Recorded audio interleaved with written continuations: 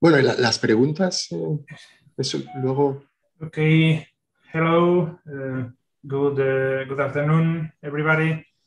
Welcome to this uh, uh, SEMNI day, to this uh, conference uh, Bueno, with, las preguntas. with which eso we inaugurate. Hello, uh, good, uh, good afternoon, everybody. Welcome to the. Okay, so I'm Elias Cueto, the president of the Spanish Society for Numerical Methods in, in Engineering.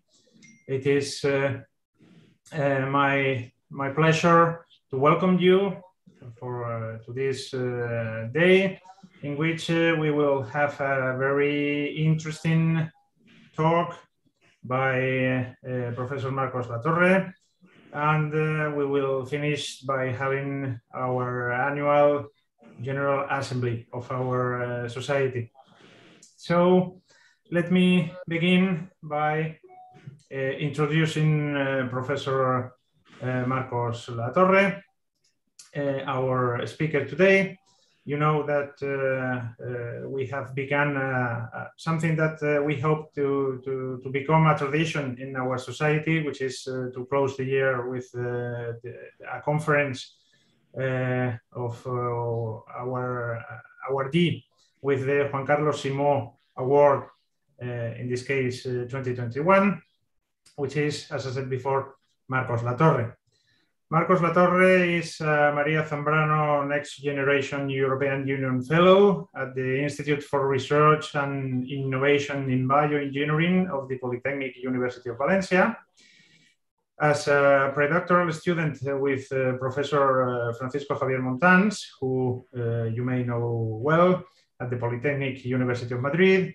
His research focused on the development of novel continuum and computational models for large strain hyperelasticity, viscoelasticity, and elastoplasticity, which have since found different applications in engineering and the sciences uh, during his postdoctoral stay with Professor Jay Humphrey at Yale University, he moved into the field of uh, vascular solid biomechanics and mechanobiology, putting forth uh, new theoretical models for predicting vascular growth and remodeling in diseased uh, tissues, such as in fibrotic, aneurysmal, or tortuous arteries, as well as uh, efficient computational methods for the design of uh, tissue engineered vascular grafts with application to congenital heart uh, disease.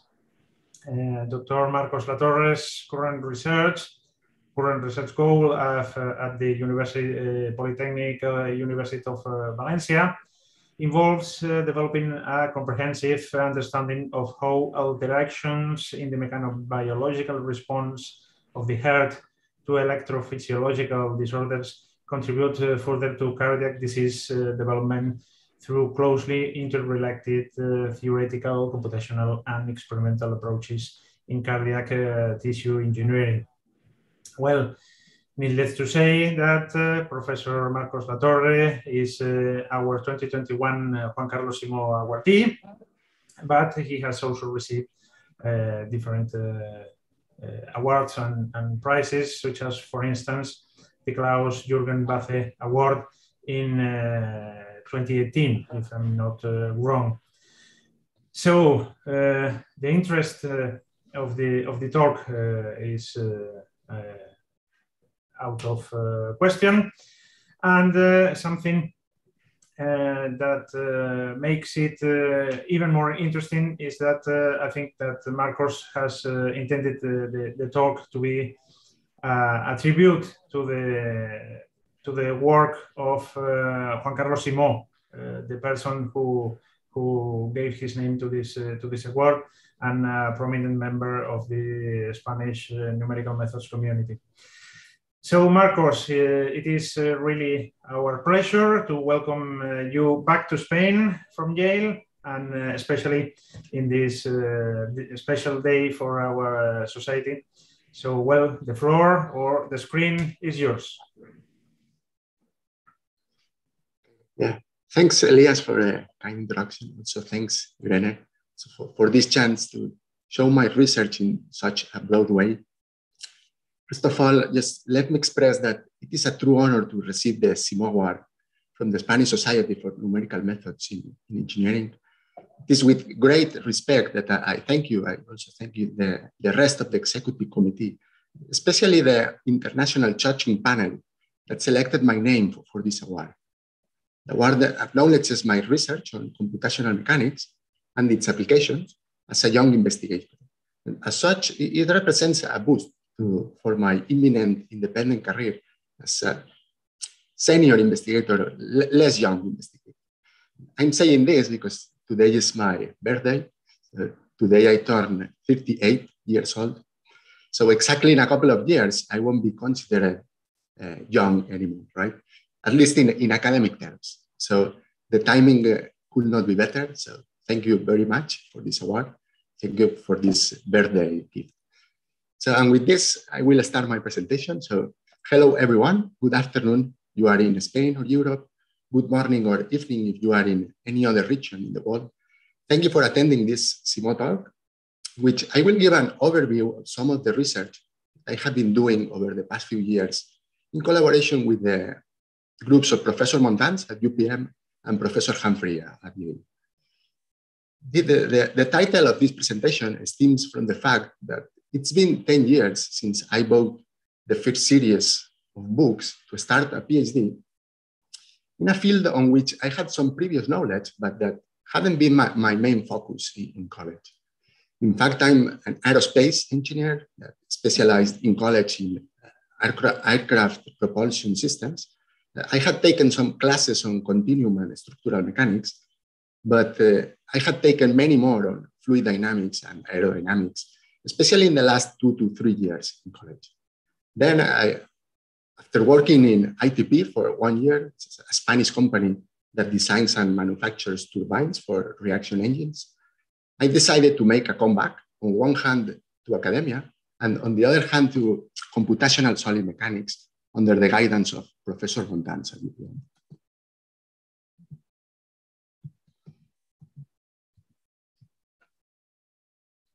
Yeah, so from, from my first books, one that uh, certainly stood out was Simo Hughes' uh, Computational Inelasticity, which had uh, keeps having a great influence in the way I think or do research. Such it was that influence that in some way I also dedicated my PhD to Simo. So this is an extract of the acknowledgements or agradecimientos in my thesis dissertation, which I defended four years later in 2015 from where I have translated a passage for you to, to English.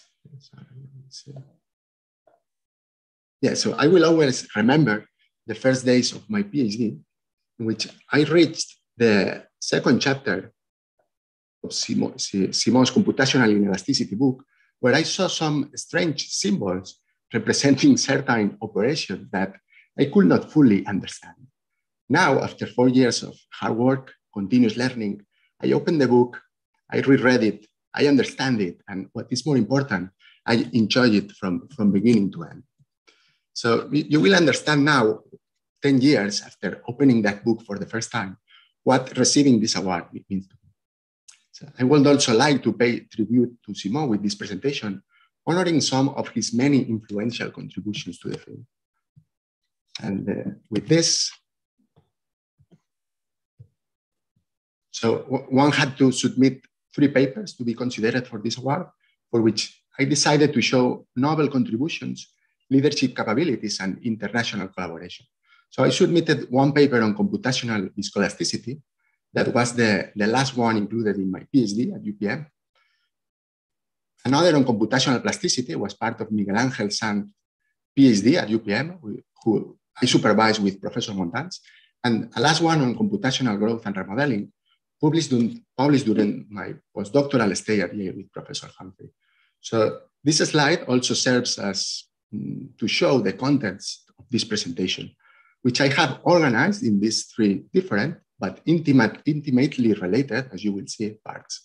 I will focus mainly on evolution equations for inelastic solids, their fully implicit algorithms for finite element analysis, and their applications in both engineering practice and the sciences. Here I promise I have tried to use as few strange symbols as possible, although I'm afraid that some of them are yet necessary to show the extent of these publications. With that, uh, uh, start the presentation. So we, let's uh, start with uh, computational viscoelasticity. This response is characteristic of rubber-like solids and soft biological tissues. It uh, manifests due to the slow changes in temporary connections of molecules with their neighbors uh, under changes in stress. Characteristic responses are relaxation of stresses, of strains over, over time, stiffening and hysteresis that are rate dependent. So in this part of the presentation, I will um, revisit a couple of formulations and uh, I will explain how I could extend them. So in, indeed, in uh, chapter 10 of this book, Computational Inelasticity, uh, Simo, there, there is a like, summary of uh, one formulation that he previously published in 1987. So this formulation is based on internal stresses, which we will represent with Q here and is motivated from the standard viscoelastic solid, which has two branches. One is a, a, Hooke branch with a spring and a Maxwell branch with spring and a dashpot.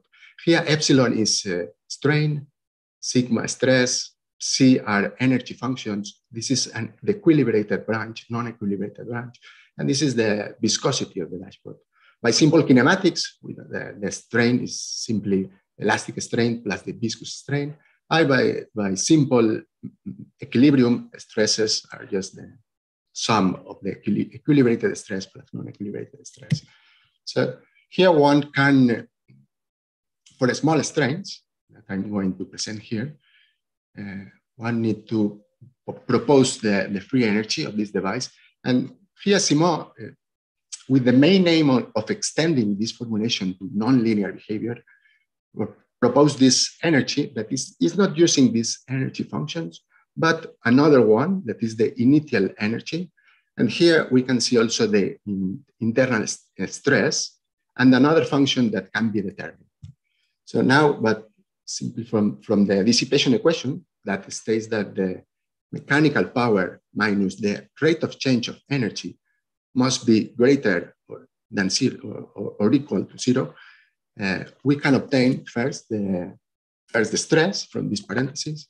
And you can see the stress is the initial stress minus this internal stress. And this stress is the one that will relax over time. Then the function chi can be determined from equilibrium. But because this equilibrium, uh, this uh, question is not giving the evolution of the internal stress, one has to assume an evolution for the for this internal stress that will give the, the relaxation of stresses. So motivated from the linear case, he suggested this evolution equation for Q, where you can see here that this, this energy can be nonlinear. So it can depend nonlinearly on the strains. And here gamma is uh, just a ratio between the, the different moduli here. And T is the relaxation time good thing of this formulation is that can be extended to finite strains quite easily. Here I'm only presenting uh, equations conceptually, but for, for, the exact expressions of these equations, I will refer you to, to the original paper. But you can see that they are very similar. Here one can consider a volumetric deviatoric split, for example. But for those details, please refer to the paper. Uh, but the formulation is pretty similar to the one in, in infinitesimal strains. Here for finite strain, we use the right Cauchy-Green tensor C, the second Piola-Kirchhoff tensor S, and the internal stress tensor Q. And then we get the stresses again as initial stress minus the, the stress. So the advantage of this formulation, as I said, is that it can be used for nonlinear behavior and uh, also for anisotropic energy functions. The, the disadvantage is that being motivated from the linear case is uh, only valid for small deviations from thermodynamic equilibrium. What does that mean? That means that this, if we think uh, in terms of this device, it means that this strain can be large, here assuming uh, large strains, of course, but this elastic internal strain can only be small or moderate. So a change in total strain will be accommodated by a change in viscous strain, not elastic. So 11 years later, Reese and Govindjee's developed another, or proposed another model. And here I must say that Govindjee was a, a student of, of uh, Simo. Uh, but they proposed a model now based on internal strains. So in this case, the energy is expressed in terms of the strains of the springs, both the total strain and the elastic strain. With that, one can again, again determine the stress. This is also different to Simo's approach because uh, now the stress is the sum of both branches, both branches. And, and another difference is comes from the dissipation equation because now the dissipation equation automatically uh, defines an evolution equation for the viscous strain for this strain.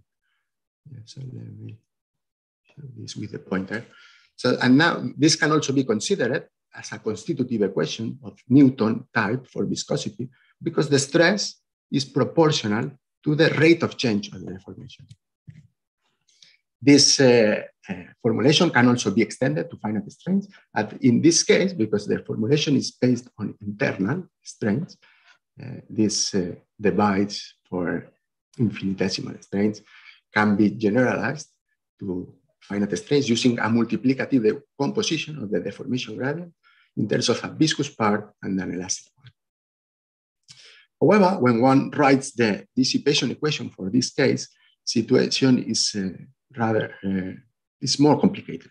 So you can see that this equation is equivalent to this one because we have here this, the derivative or the gradient, and we have here the, uh, the, the, viscous velocity gradient plays the role of this uh, rate of change of the, of the viscous strain. And indeed, proposing an evolution law from this dissipation equation is not simple. So in, indeed, in that case, uh, Reese and Govindjee, what, what did, what he, they did was to motivate it from a previous paper by Simo and Miehe from 1992 in the field of elastoplasticity.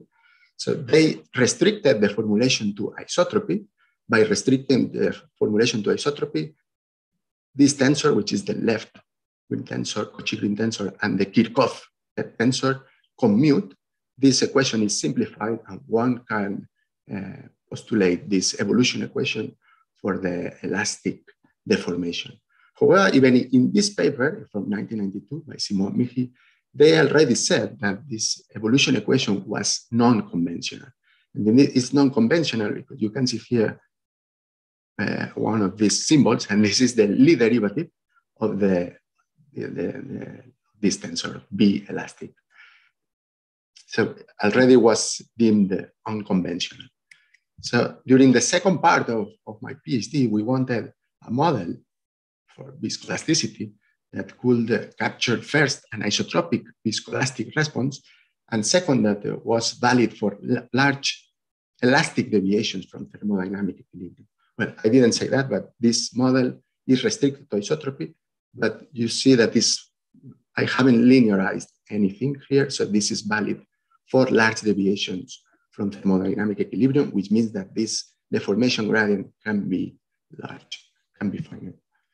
So to do that, we, because uh, Christian Govindjee's uh, model is derived directly from thermodynamics, so I decided to try to extend this formulation to anisotropy.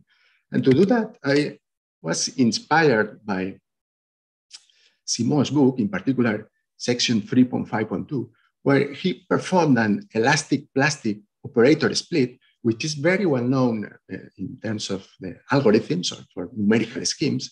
But he performed this operator split on the continuum theory, for the continuum theory. So this, we have not discretized the equations here. So taking this, I came up with a, a concept that mm, turned out to be applicable both for small strains, small strain viscoelasticity, but also finite strain viscoelasticity. And I will explain, I can explain this concept to you just taking this uh, device as reference. So here we have, imagine that we have an increase in strain, right? is this total.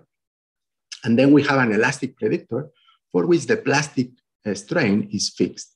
However, here we have a viscous strain. So imagine that the viscous strain is fixed.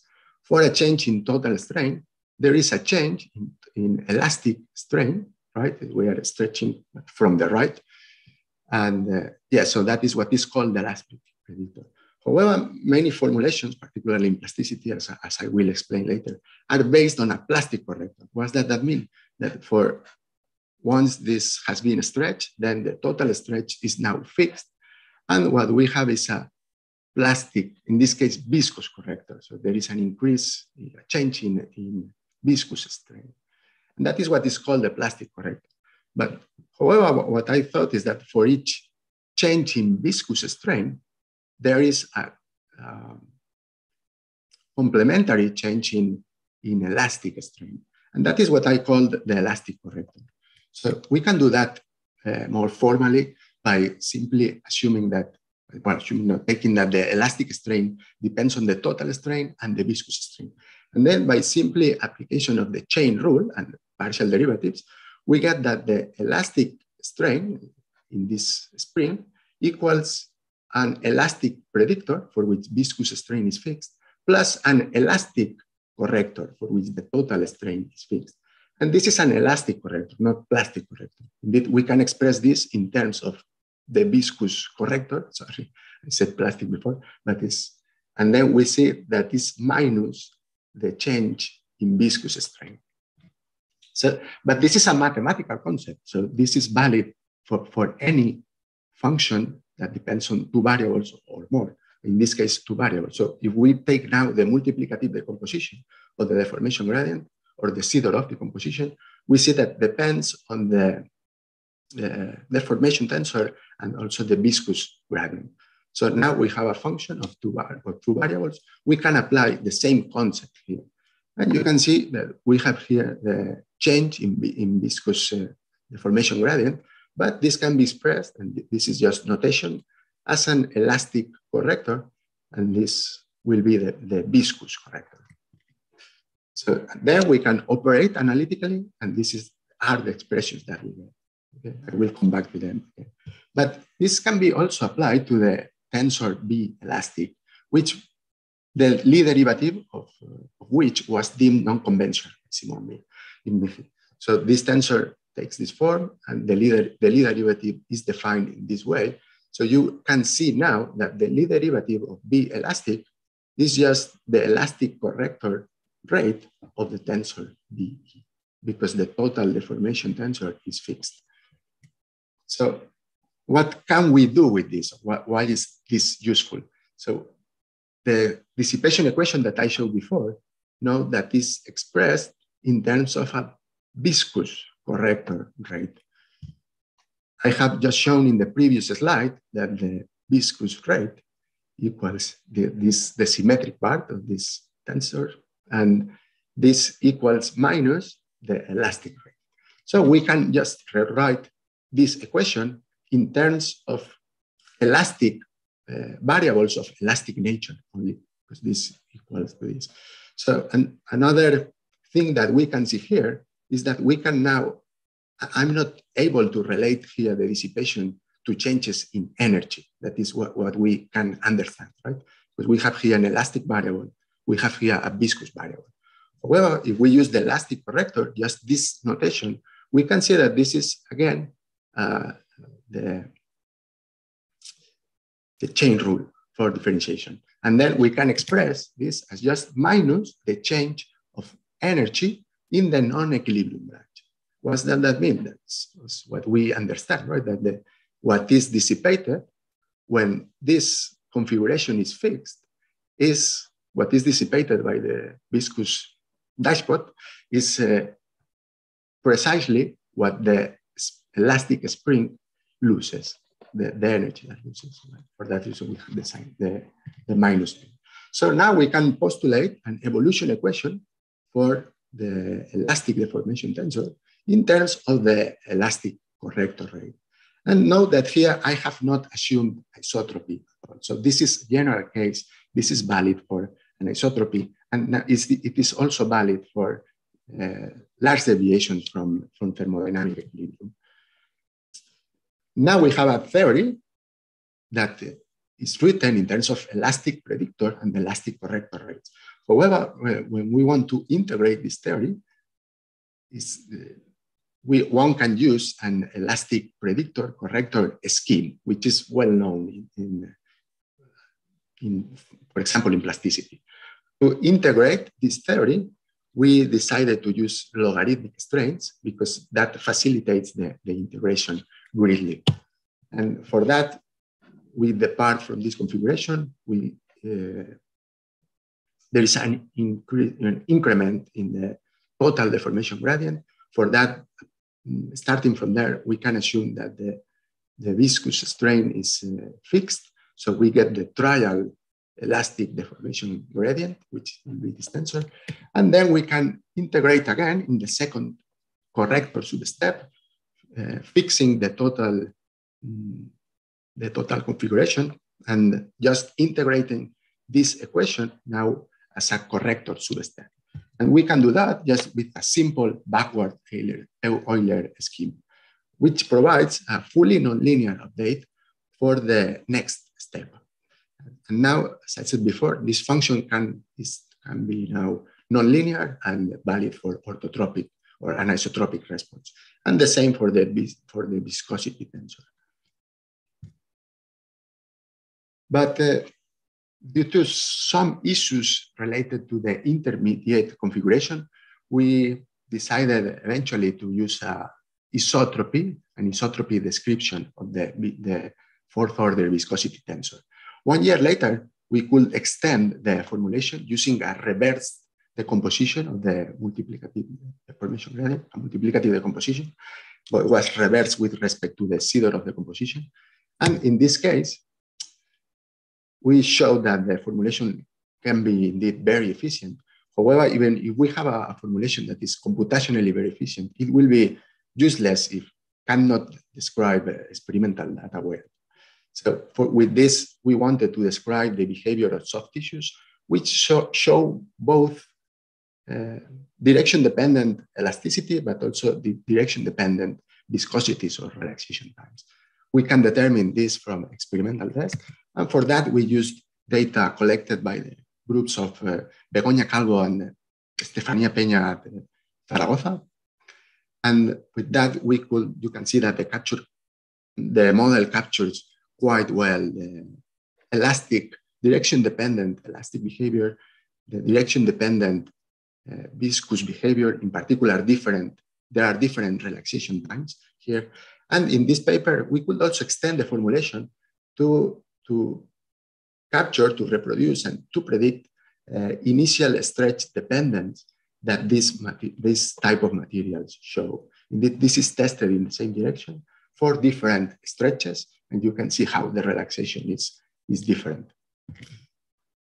Well, with uh, using, uh, once we have the model determined from experimental data, so we can now, with confidence, perform mm, simulations, computational simulations using finite elements. So here I'm showing just an academical example of a plate with a hole using an orthotropic material that is also has a viscoelastic response. Here, the preferred material directions are not aligned with the test direction. So when we stretch the material, sorry, you will, you will see it now. When we stretch it, we see an angular distortion. Here, another degree of freedom that we have is that these energies can be different. So if they are the same, you see that after this initial stretch, which involves large elastic strains, as you can see, uh, then the initial instantaneous distortion is pretty much the same as the final, finally relaxed distortion. So here we only see a relaxation of stresses. However, if, if the two energies are different, which is something that we can get from experiments, you see that the instantaneous uh, angular distortion is different from the final relaxed distortion. So here we see relaxation of not only stresses, which is the typical thing that we see relaxation of stress, but also relaxation of, uh, of the deformation. And finally, I show here the, the implementation provides asymptotically quadratic rates of convergence using a fully implicit implementation of the model. And with this, uh, I finish this part. Here are the references that I used. So you can come back later to see this video again and, and check them out if you, if you like. But here I, I would like to highlight this last one, which I have not commented in this first part. This was a collaboration with uh, Ju Liu and Alison Marsden from Stanford. And in this paper, we could, as I said before, the Simo's formulation, the evolution equation, that is not derived from thermodynamics. So, and that has been criticized by some other researchers. So in this paper that we have just published uh, this year, uh, we explain how we can derive that formulation consistently from thermodynamics. So it was very interesting collaboration with uh, people from Stanford. And with, with that, I move on to the second part of this presentation, which is computational elastoplasticity. This behavior is now mostly characteristic of, of metals, but also reinforced rubber, biological tissues, importantly, way beyond the physiological loads, but also collagen networks. It can be explained by the presence of dislocations, which are defects in the crystal structure, which facilitate the plastic slip in particular planes and directions. Characteristic response, as you may know, is that we have a permanent plastic deformation, right? We have also hardening, and in this case, it's rate-independent hysteresis. As before, I will review a few formulations or evolution equations and how we could extend or mm, try to improve them.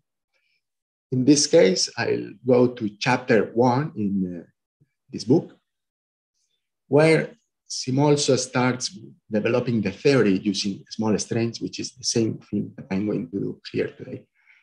Uh, in this case, uh, plasticity is motivated, can be motivated from single crystal plasticity. Uh, in that case, the uh, strains are well defined. So it is common to use our uh, formulations based on internal strains, not internal stresses. That is what, what everyone does basically. So, but in this first chapter of computational inelasticity, Simo motivates the theory starting from a rheological device, where now instead of a, a what we have is a frictional device. Now we have plastic strain instead of rather than viscous. And we have a new parameter here, which is the it's kind of the yield stress. So that is what defines when plasticity starts. And for that, this is usually defined using a, a yield function, which I will show later. So here now, because this model is based on internal strains, now the energy is defined in terms of the elastic strain in the, the spring. The stress directly the differentiating the energy.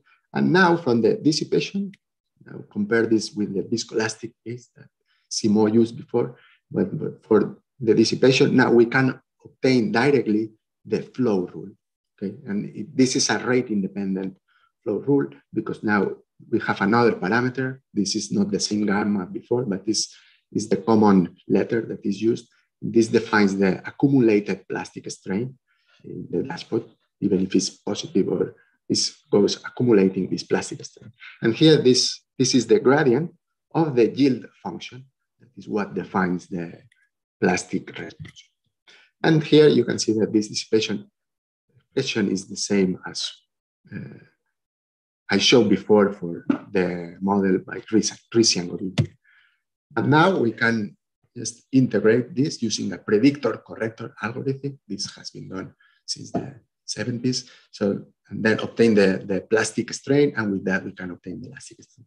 However, now we have a, incremental equation for the elastic strain, but depends on two variables. This is another difference with viscoelasticity. And these two variables, fortunately, we have another equation, which is the yield function, where we can enforce plastic consistency. So we have two equations for two variables. We can solve the next step. But note that uh, Simo was working on this problem years before Reese and Govindjee published the, the, visco, the viscoelastic model. Uh, and this is what Simo said in his seminal paper from 1992. He said, as they stand, however, this evolution equation, referring to the uh, infinitesimal case, are not easily generalizable to the finite deformation regime. In particular, a debated issue concerns the specific rate form to be adopted for the left-hand side. Different objective rates and alternative measures of deformation lead to different, different form of the evolution. So much of the controversy in the literature on finite deformation plasticity is related to this specific issue. So that is what I'm going to try to explain with this, with this uh, slide. Uh, this is the slide that is loaded with the with a num uh, number of question, questions. But to, to extend this to finite uh, strains, we take the multiplicative decomposition of the deformation gradient. And with that, we get the stresses from the strains again. And we get the we can get the dissipation equation, which I'm just showing here. Okay? I'm not developing all the, the expressions of the theory. But what I want to highlight here is that first that this is takes the same form as the one I showed before for viscoelasticity, but now here we have a plastic velocity. And what I want to highlight is that this is an originally symmetric equation or plastic corrector flow because this tensor is symmetric, this tensor is symmetric. So this is a six-dimensional equation. And here is where the, all the controversy comes. Because what people has tried to do uh, since the 70s, 80s, is to try to get an evolution equation departing from this equation, but that getting an evolution equation for the plastic variable. But you can see that that cannot be done here easily. And that is what Simo was referring as the rate issue. This, uh, as I said, this is chronologically before than what I explained before for viscoelasticity. But here what we can do is that to move this deformation, elastic deformation tensor from right to left, and this, this is precisely what the, defines the Mandel stress tensor. And this Mandel stress tensor for the general case of an anisotropy these two tensors do not commute. And if they don't commute, this tensor is generally non-symmetric. In the same way that this plastic velocity gradient, we know that this tensor is also non-symmetric, of course. So then this can be split in two parts. One is the symmetric part and anti-symmetric, uh, skew symmetric part. Again, this is plastic flow. But here is where another well-known tensor in the elastoplasticity commu uh, community appears, which is the plastic spin. So note, interestingly here is that this equation, which is six dimensional, gives exactly the same dissipation that this one. So these equations are equivalent, they give this, exactly the same dissipation. However, here we can compute it using as only a six dimensional equation that is symmetric here we need two terms, the symmetric and the skew symmetric part. So here you, you can understand how this is mm, was very where, where the controversy came from. Because now we can integrate the proposed disevolution or plastic flow rule and integrate it via an exponential mapping, and we get an incremental update for the plastic deformation here. But however, we see now that we need the definition of the plastic spin that will come here within the, the exponential to be able to determine the plastic deformation gradient from which we can then uh, go to the next step, right? De determine the elastic strength, that this, this strain or deformation will define the stress at that point. And so here there are many, many assumptions that give rise to many, many different formulation, as Simo already said in, the quote that I, I, said before. So now is when he and uh, Miehe assumed isotropy, again, rewrite this equation in another way, but know that now this is written in terms of variables of elastic nature only. But, and from here, one can mm, propose this uh, plastic flow rule, but in terms of elastic variables. This, but with this, Simo uh, circumvented this rate issue, but only know that this is only valid for isotropy. Then Simo, the same year, integrated this using logarithmic strains. This was also one of the reasons why we use logarithmic strains for the viscous model, uh, because they are additive, they facilitate the integration, and they can also reproduce the, the experiments pretty well. So how can we circumvent the rate issue in the more general case? So I finished my PhD in 2015, went to Yale 2017. So in between, I stayed at Yale University, I, sorry, UPM, and was kind of my first short postdoc.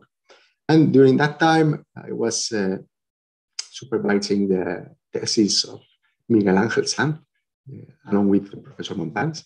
And with we thought that maybe that what we had done previously for viscoelasticity could be extended to plasticity. And indeed, as I said before, the expression for the dissipation, they are very similar. It's just that here we have the plastic velocity gradient. And indeed, we can again use the definition of this elastic corrector uh, rate and write it again in terms of logarithmic strains, as Simo did, and this is how we can circumvent this rate issue that has, has been lingering around for, for many, many years. So the, the, the key thing to do is that we should integrate, we can integrate the originally symmetric elastic corrector recoil, I'm calling here a recoil because this is not flow, right? We have plastic flow and then we have an elastic, it will be recoil. So instead of instead of modifying this equation to get the plastic variable, we can directly integrate the original equation, which is the one that comes from dissipation directly. And that is what we, what we did using logarithmic strains. And now, in the same way as we had for viscoelasticity, we have uh, continuum theory and algorithmic theory in, in parallel. That, and yeah, they are parallel. Also, Simo, in his paper from 1992, he said that the, this has another advantage is that the, uh, both the closest point projection algorithm and the consistent algorithmic elastoplastic tangent remain unchanged with respect to the infinitesimal case. He did that for isotropy. Uh, my opinion, uh, we, we, we did that in, including an, anisotropic behavior. So these are key properties or this new formulation that we developed in 2017, 2018. First is based on the multiplicative decomposition. The key aspect is that we use correct or elastic strain rates. The, very importantly, the Mandel stress tensor that has traditionally governed the dissipation equation is not present it's because we are working with the original equation. We are not modifying it or operating with it. Symmetric flow is uncoupled from the plastic spin. This was indeed postulated by Lubliner in 1986. It is six-dimensional algorithmic update, fully symmetric, valid for anisotropic hyperelasticity, plasticity, large elastic deformations, and also plastic flow is isochoric naturally. So it is a generalization of what Simo did in 1992. And for that reason, it particularizes to, to that formulation. So as I said, uh, this was part of the thesis of uh, Miguel Angel Sanz. So this was implemented in, these are simulations performed in the commercially available code Adina. First, we numerically validated the formulation. Then this is another academical example where we mm, perform uh, the stretching of a plate, considering anisotropic elastoplasticity, kinematic and isotropic hardening. Uh, and then there are other many interesting applications that we can uh, compute with this formulation. This is, we could validate it experimentally. You can see here, this is the earring profile for this cylindrical cup drawing using Hills plasticity. You can see how we can predict or obtain this earring quite well compared to, to experiments. So this is a, a good experimental validation. And finally, you can see here in this other simulation how uh, for metal forming, how after the sheet is being deformed, right, formed, how there is an elastic retraction that is called the, the spring back. Spring back. So the model can also obtain these kind of behaviors, which I think are important for, for engineering practice. And here I must say that I have these simulations were performed by Raul Diaz Gonzalez, who is a student of Miguel Angel Sanz, who was my student. So I was uh, very satisfied when, when I saw these, these results. I, I know that they are using this model and they are extending this model. But not only this, I'm also so very satisfied year after year when I see that uh, Professor Montáns and his group uh, publish papers uh, related to this and that are extending this formulation to new avenues that I, I, I couldn't imagine initially. And indeed, they, they could model cyclic plasticity using now this concept, but now they could show that nonlinear kinematic hardening can be modeled using classical plasticity, despite the common belief, again, from the 70s or the 80s. They could mo model large strain cyclic, cyclic hyperelastoplasticity using elastic correctors, bypassing uh, the classical multiplicative decomposition of Lyon from 2010.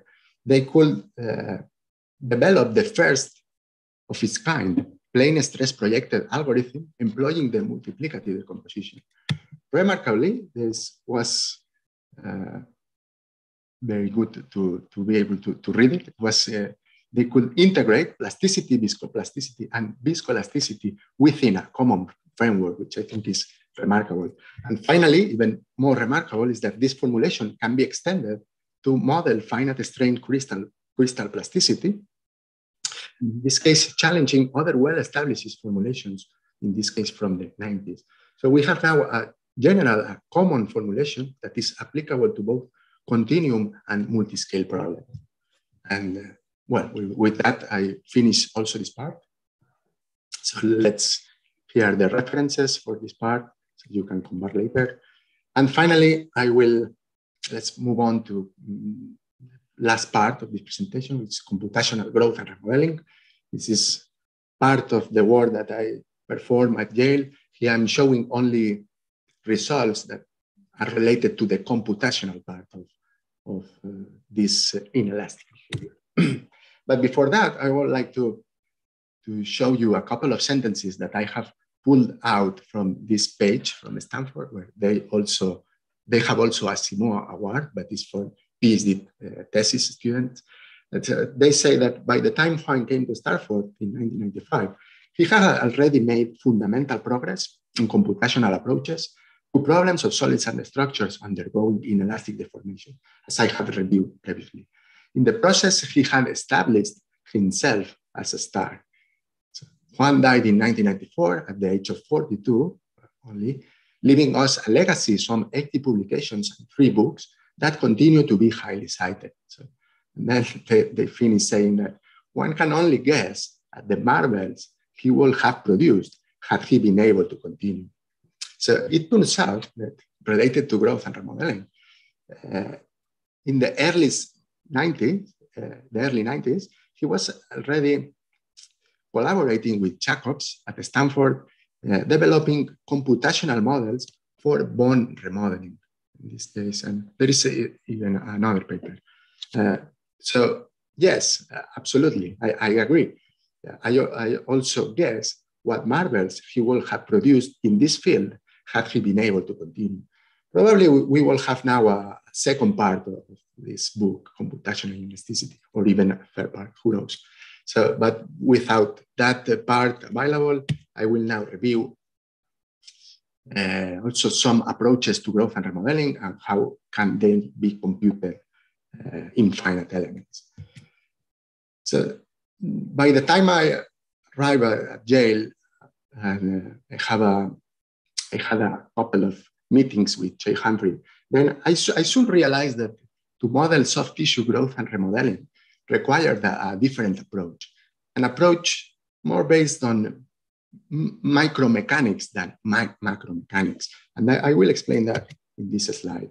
So soft tissues known to comprise diverse cell, diverse cell types, extracellular matrix constituents, each of which can possess individual natural configurations, material properties, and rates of turnover.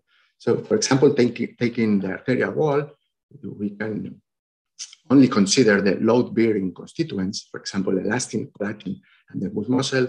And in this model, we consider that they are deposited uh, within the arterial wall for given pre-stretch. Well, elastin is uh, what uh, provides elasticity to the wall, but from a GNR perspective, it is produced, organized, and cross-linked early in life. The mean lifetime or the half-life is uh, about 50 years. For example, uh, and then collagen that provides strength to the wall continuously turn over in maturity with a mean lifetime of just one month. So now assume that we want to construct or build a model to describe the growth and remodeling of this, uh, of this artery, arterial wall, in, and we take one month as a reference. So we want to see how this has growth in, in, in one month, has grown in one month. So for one month, because the half-life of elastin is 50 years, of course, elastin is not degraded or is that's negligible. So we must assume that the, or take that the behavior of elastin is elastic over one month.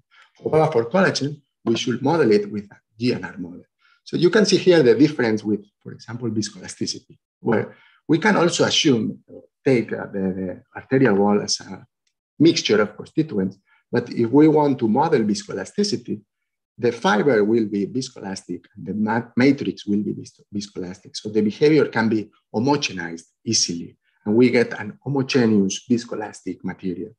However, here different constituents have over time different constitutive behavior. So here it's not that obvious that we can uh, homogenize the behavior. Of course, we can do it, but it's not that obvious. Indeed, there are two different theories. Well, there are more theories, but there are two main theories to study soft tissue growth remodeling. What is finite volumetric growth theory, developed in 94 by Rodriguez uh, colleagues, and the constraint mixture theory, developed by Humphrey and Rajagopal in 2002. And there are many, many differences between these two models. First, this is a macro-mechanical model, homogenized, while this is micro-mechanical model based on a mixture of constituents. This is mechanobiologically motivated, this is kinematically motivated. And this, this motivation comes or leads to, to a multiplicative decomposition similar to the ones I have reviewed previously for viscoelasticity or plasticity. However, the multiplicative decomposition for the constraint mixture model is a little bit more complicated, but takes into account that the constituents are being deposited over the past history and then evolve with the, with the mixture.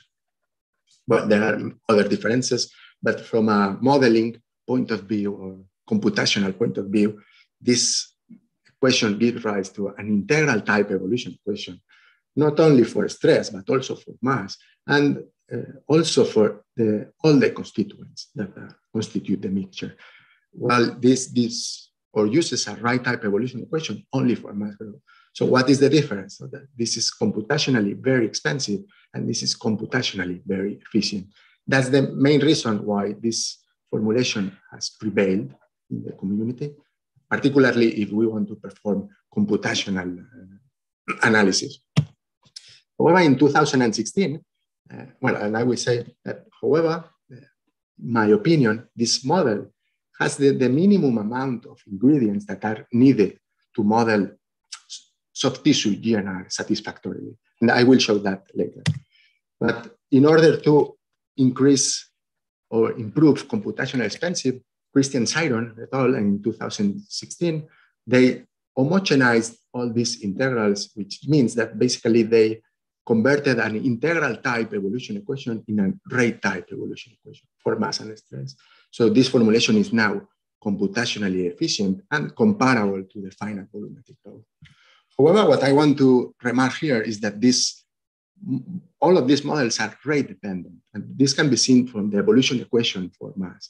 So we can compare to viscoelasticity, and you can see now that they are pretty similar. And here I'm introducing the um, stimulus function.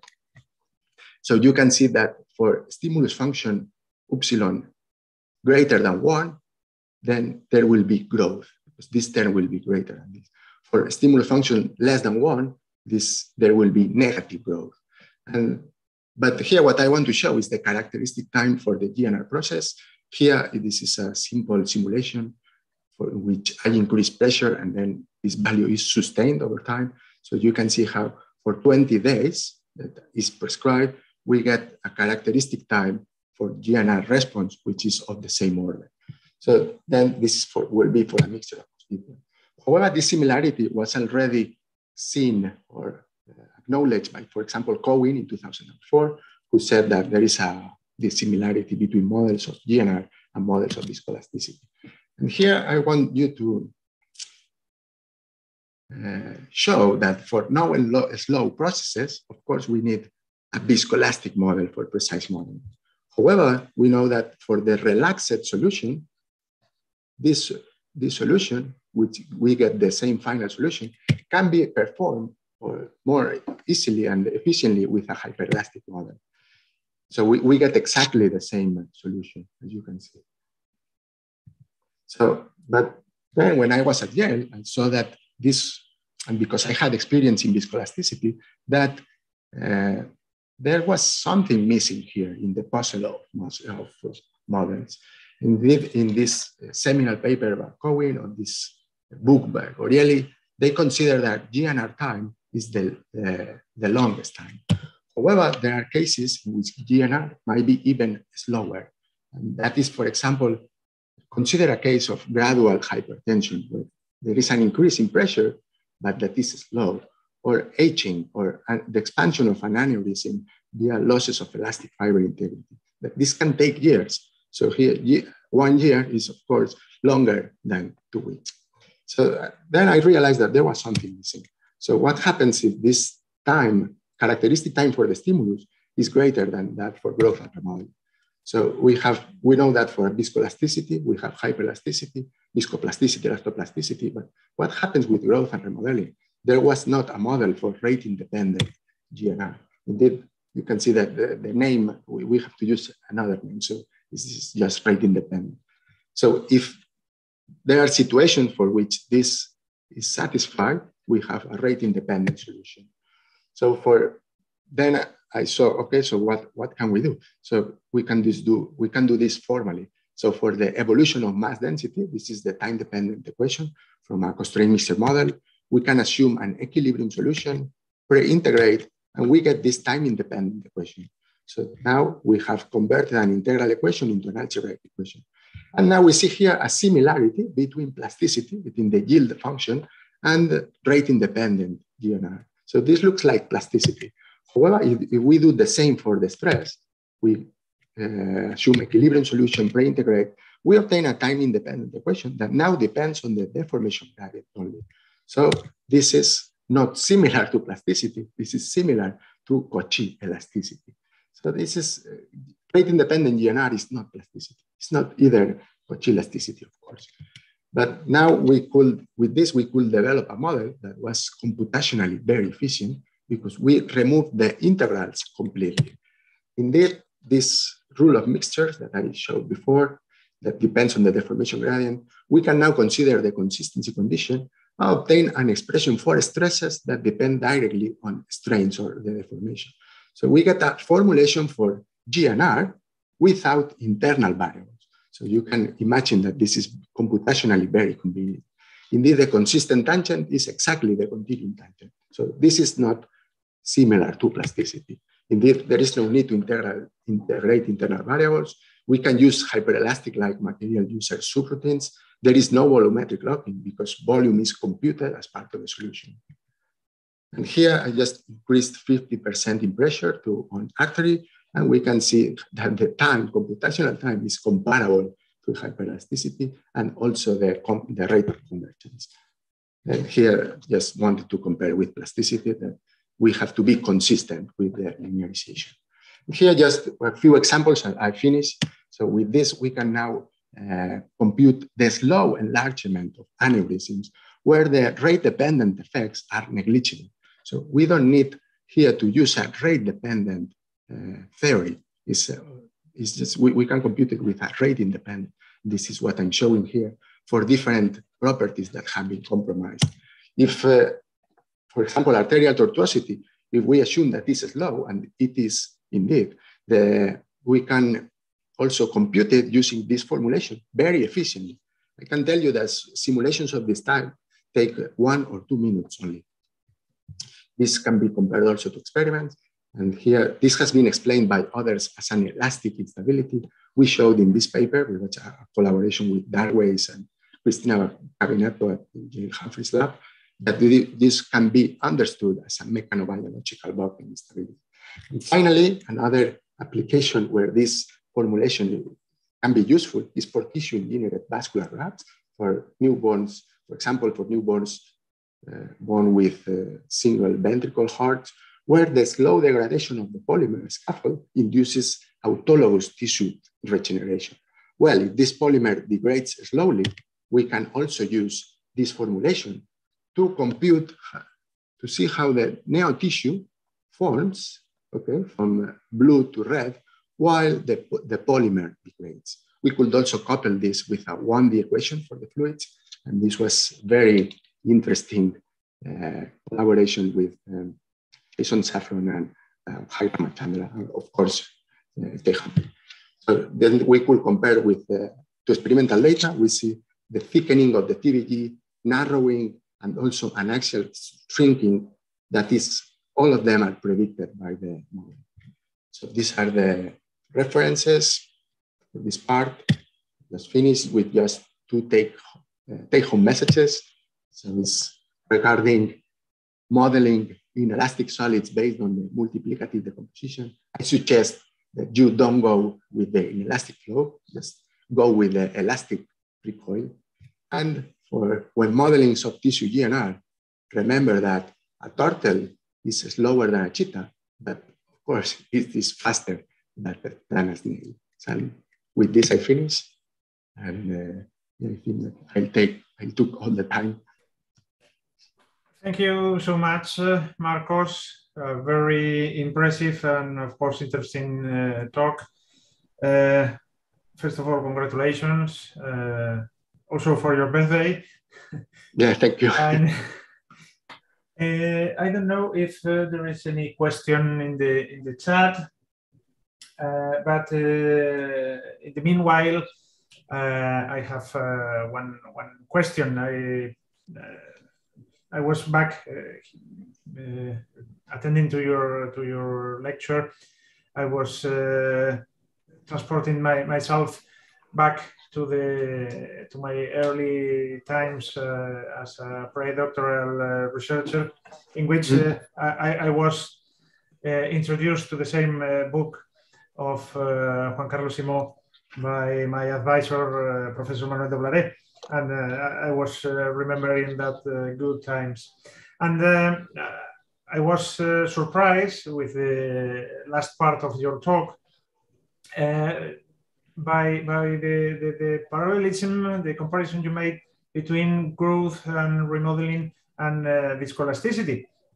Uh, because uh, by that time, my my mate, doctoral student who is now professor like me here in the department, uh, Jose Manuel Garcia Aznar, was developing a, a model of uh, remodeling based on plasticity, as you may as you may know. So, uh, what's uh, the, the, the main uh, advantage? Um, maybe the, the lack of uh, of internal variables that you that you mentioned before. I mean, in, in com with comparison in between a, a viscoelasticity-like approach to remodeling and a plasticity-like or damage-like approach to, to remodeling. Yeah, so compared to rate-dependent uh, formulation uh, or viscoelasticity-like formulation, the main gain is in computational time, of course. It's just is what I what I try to explain with this slide, right? Is that if the if the process is slow, of course this rate independent GNR formulation is only valid for very, very slow processes, as I showed. In the general case, we should use a rate dependent formulation. But it's just that for these slow cases, no one, for example, in viscoelasticity, this is comparable as viscoelasticity to hyperelasticity, right? So in this case, no one should compute this response using a viscoelastic model. It can be done, but it's we are engineers and we should not do this. So to compute this response, we should use a hyperelastic model, right? It's, uh, for me, this is like uh, as we say in Spain, is uh, matar una mosca cañonazos, no? like shooting a fly with a, a cannon. Uh, but we should use the, the model that is made to, to solve this problem, not another. So that's the same for GNR. We have very slow processes, as here, I'm showing here. All of this, they can be, here, rate dependent effects are, can be negligible at, uh, to, to a first approximation, right? So, but should we use a rate dependent model? We can do this with a rate independent model. And so, and as you said, comparing, there are other models that are rate independent, but here I wanted to say that this is the first uh, rate independent constraint mixture model solved uh, GNR. Mm-hmm. Compared to the other models, if they are based on plasticity, Perhaps the main difference is that this is based on a mixture of constituents uh, rather than an homogenized material. Mm -hmm. Okay, I was uh, having a look at the uh, YouTube uh, chat where uh, I see no questions, only only uh, congratulation messages. Ah, okay. people is impressed by by the quality of the of, of your talk. Oh, but, there is no no question so far. So, well, Marcos, in the interest of time, because uh, as you yes. know, we have our annual General Assembly of our society. I, I truly and warmly uh, thank you for uh, well for the prize for your career. I'm happy as a Spanish uh, member of the community to, to have you back to Spain, and uh, well, we we hope to to meet uh, in particular in our uh, conference in, in Las Palmas uh, next yes. year. Hopefully, mm-hmm. uh, everything will will go well with this pandemic, and we will be able to to meet all the community together in, in Las Palmas in, in September and to have the opportunity to, to give you the, the your, your award as a Juan Carlos Simó day of uh, our uh, society. So again, congratulations and thank you for uh, for this uh, wonderful uh, lecture today. Thank you. Yeah, thank you, Elias.